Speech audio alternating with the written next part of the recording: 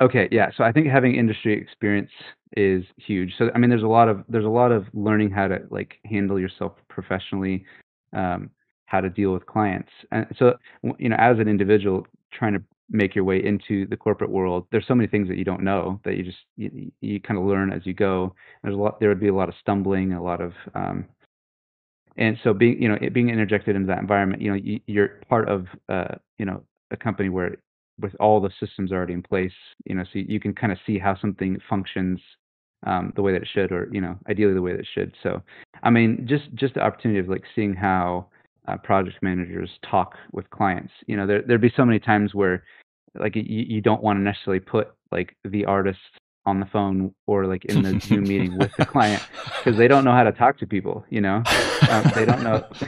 I'm they, good they with people.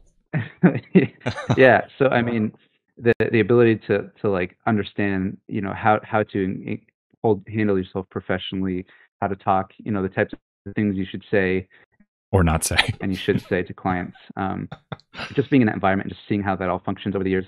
Yeah, or not saying absolutely um, was huge for me. Um, and not that I, not that since I've made that transition, I've had to deal with any huge, you know, big name clients. I mean that maybe on the horizon, you know, that's the end goal. But um, mm-hmm. so far, most of my most of my experience has been with the exception of um, one job has been with you know kind of smaller, but all the same, I think that that's valuable experience to have. Um, I think a, a, big part of that to answer your question. So like, should you go the corporate or studio route first?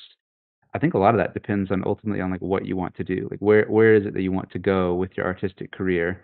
I mean, if if you just want to, you know, keep your head down and do your thing, and do something artistic and you're you're okay with that like eh, you know if if the idea of just being like a cog in a big wheel sounds appealing to you then you know I'll go for it but um I do think that there's a lot to be said of have that creative freedom but again it just depends eh, it depends on so many things. It depends on your financial situation it depends on your background depends on your current skill level you know how much work you've invested how much time you've invested um, you know so there's some people you know that just pick up a wacom tablet and they're like do you think that i'm ready for commissions and I'm, you know it's mm-hmm. um, i think and to some degree people you know there there has to be a, a, period of you know time where you study and grow and get to a certain level professionally before you are prepared um, to embark on that journey on your own but a, a, nice thing about the studio environment is you know you'll you'll often get people coming in at entry levels um, maybe straight out of school or you know if they haven't taken school that are still kind of beginning and they can be kind of put into that